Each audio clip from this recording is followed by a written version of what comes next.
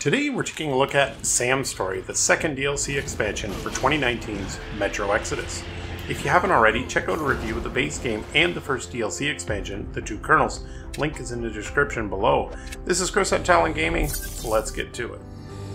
In this expansion, you'll play as the title character Sam through the tsunami ravaged ruins of Vladivostok in his quest to find a way home to the United States and reunite with his father following the events in Metro Exodus. This DLC introduces the Universal Detector, mounted to the bracer similar to the motion detector, allowing Sam to detect nearby dangers such as mines and tripwire traps.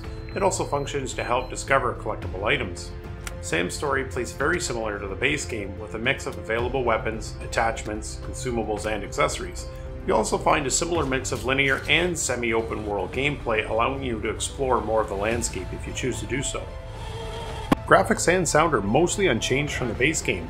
You'll find comparable high quality, detailed, graphical, and audible environments to both navigate and explore.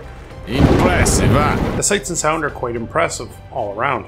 Similar to the first expansion, Sam is fully voiced over, adding a new element lacking in the original Metro Exodus. Nice ticket home. The other voiceovers are also very solid and a step up from the base game. Your accent seems vaguely familiar. There's a whole host of storyline characters to interact with, both friend and foe. You battle through various subplots to gain favor in the overarching story during Sam's quest to return home. There really are some fantastic story and gameplay elements to be found here. Sam's story is expected to take between 6 and 9 hours to complete, of course, depending on how much you explore and the difficulty level you choose. This feels much like a true extension of the base game, while at the same time it feels like a completely new chapter to the story, almost as if it could have been a standalone game all on its own, given some additional backstory.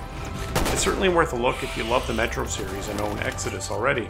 I really had fun exploring the entirely new environments, the story, and the characters, and I thoroughly enjoyed both the challenging and rewarding gameplay, and the life or death decisions that make up Sam's story.